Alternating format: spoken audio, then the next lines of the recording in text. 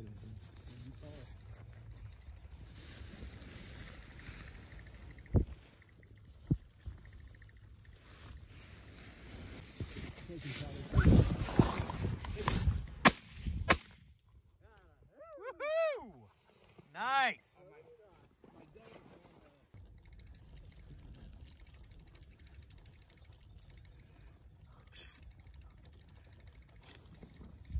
They're gonna land short of us.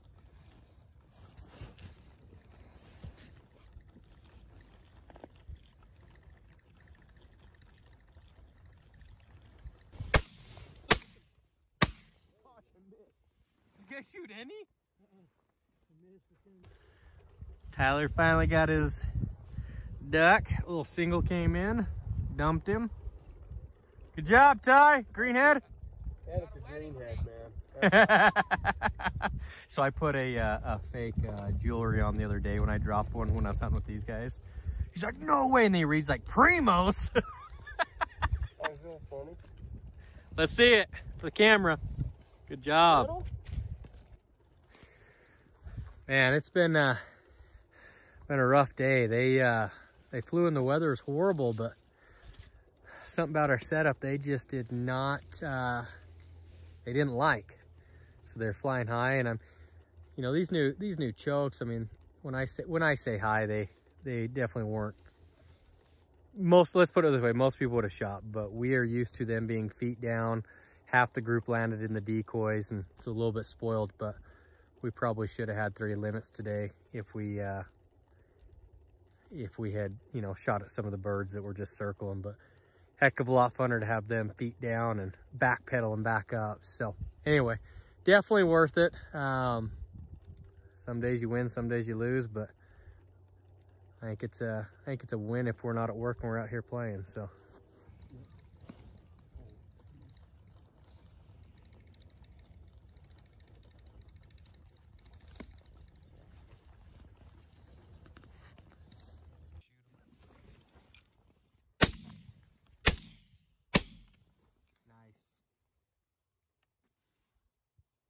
Two.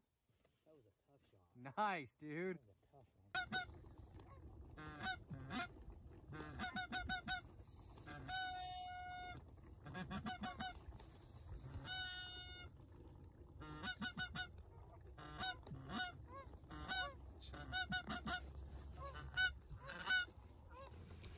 Dude, I'm telling you, it's not about the ducks, all right? It's not about one of these mojos died.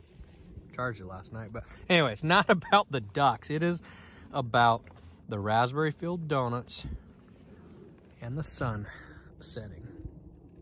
Actually, it's just about the raspberry donuts.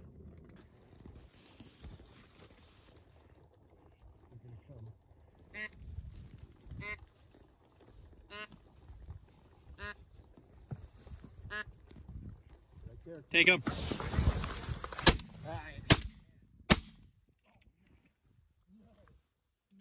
Did we get anything? Well, boys and girls, that is all she wrote. Um, after that last one, we did not have any come in, but we still at least got one limit. So, all in all, good day. Um, we'll get everything, all the decoys, I guess they're over here, all the decoys cleaned up, put away, and uh, go ahead and do a catch, cook, and clean, or a shoot, cook, and clean. So, um, yeah, so we'll hurry and get all this cleaned up, head home, and I'll show you how to uh, get the breasts off with the skin on, and then I'll show you how to do an awesome brined smoked duck breast. So, phenomenal. End it with the sunset.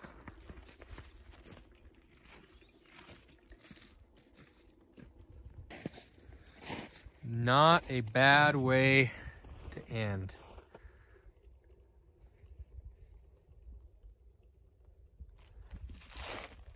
Lots of green. Did fairly well on the ducks, not as good as we hoped, but still gotta manage the limit. So um, I'm gonna show you real quick. We're just gonna do a catch, clean, and cook. Um, there's a couple different ways that you can clean these birds. Um, I'm going to be smoking them uh, after they have sat in a brine. So that being said, we're gonna wanna leave the skin on the breast, okay? Um, if you choose to do it without the skin on, um, you basically would just feel for that bone and you can kind of pull that skin and then just pull it out, cut along the breastbone. So what we're gonna do though, uh, again, since we're gonna leave the skin on just because it keeps them more moist uh, when we're smoking them, we're just gonna go ahead and just, just take just the breast um, feathers off just to get that area clean real quick.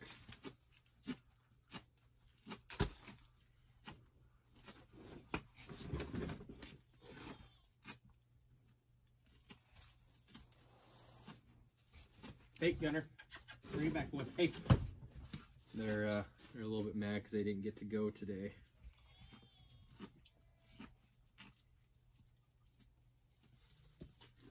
This process, uh, this this way takes you know quite a bit more time, just because you have to get it nice and clean.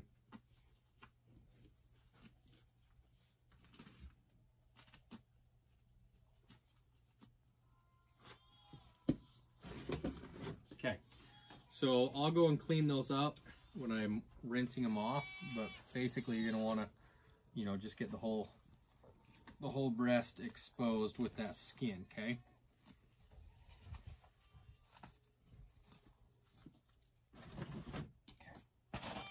So if you want to come over here real quick.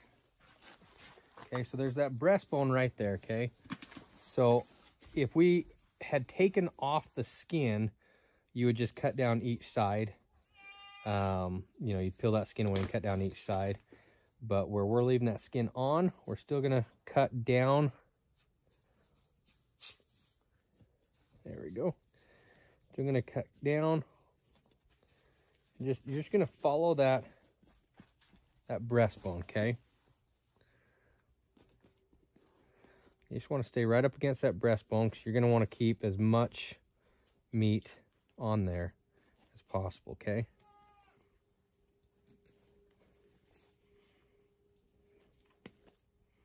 Looks like this one got hammered pretty good, so you can just take this little, I just called a uh, loin, I guess, and set that aside.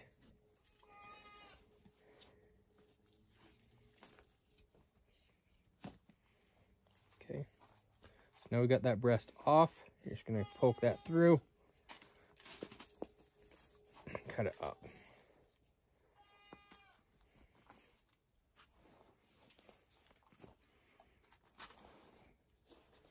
Like said, we'll clean the remaining feathers up off that skin, but um, again, you're gonna wanna leave, if you're gonna leave the skin on, it helps keep it a little bit more moist. So, but like I said, we'll clean that up when we wash that, just set that on the snow for now. Now the other side, I'm actually gonna show you if you were to gonna do it the other way, which is peel that skin over, which is the easier way. You wouldn't have to, wouldn't have to pluck it if you're gonna do that. Now, on this particular recipe where we smoke it, if you decide to do it without the skin, you are going to want to top it with a piece of bacon, just for the sheer fact that it will um, dry out without that skin. But if you top it with bacon, it does well. So again, got that little inner tenderloin. Put that right there. Got that cut. You just, you just follow that bone down till you get to the bottom. Cut through. Back up.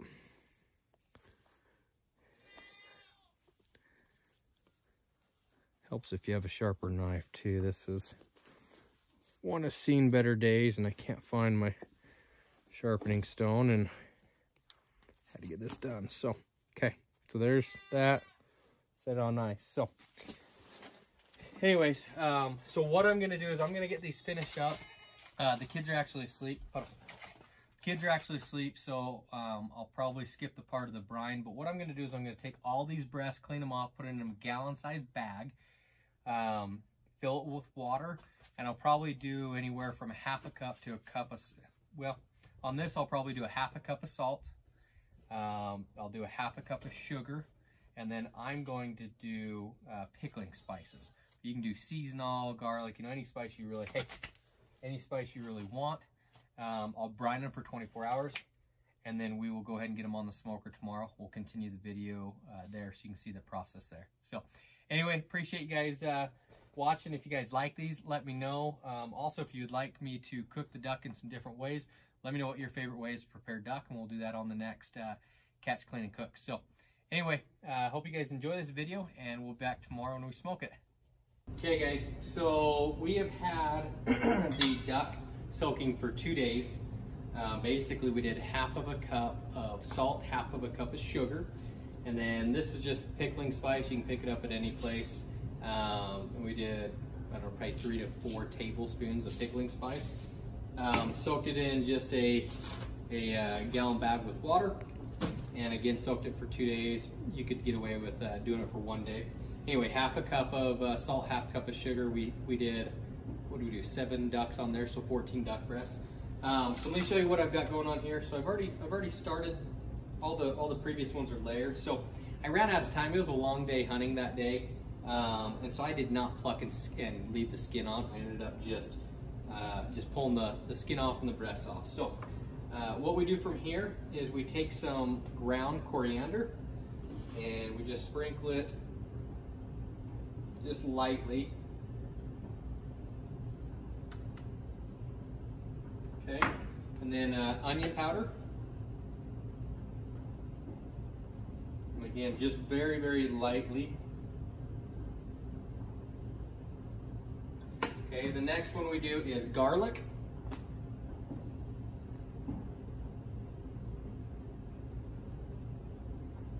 Okay, so since we did not do uh, them with the skin on, which by the way, I love the skin on. It leaves a nice crispy uh, fatty flavor on the mallards. If it's a diver, you definitely do not want to leave the skin on. Um, but then in place of the skin, to make sure they don't dry out, we just go ahead and put bacon on top and that fat will just melt down, uh, render down on that those breasts and keep them nice and moist, okay? So then what I'm gonna do is I'm gonna pop them in the smoker. I'm gonna do a mixture of, uh, uh, we'll do cherry as well as applewood and I do it at 225. I've done it 225 to 235.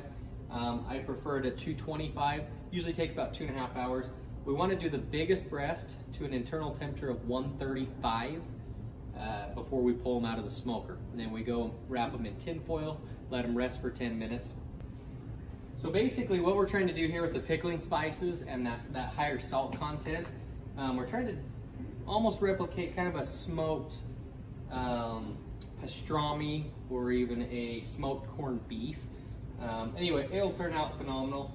Basically, we're gonna serve it on a bed of probably wild rice or a bed of rice um, with some, we do a big garden every year and so we do, we take cabbage and we make uh, homemade sauerkraut. So we'll go ahead and do homemade sauerkraut with this and it'll end up phenomenal. Um, usually we'll take it on au jus gravy and mix that over on top. So anyways, I'm gonna get them in the smoker and we'll be right back with the final product. See you guys.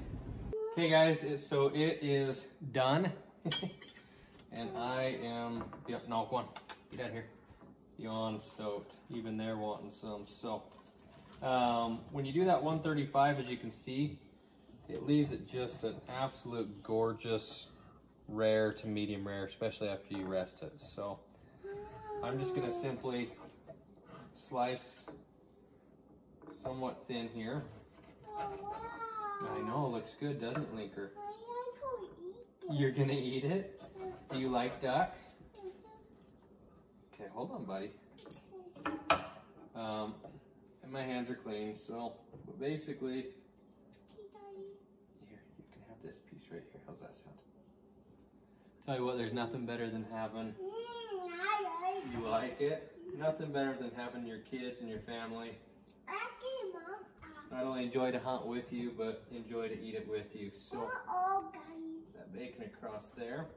Uh-oh. Okay, we'll get you more, okay? I oh mama. Yeah? Let's see here.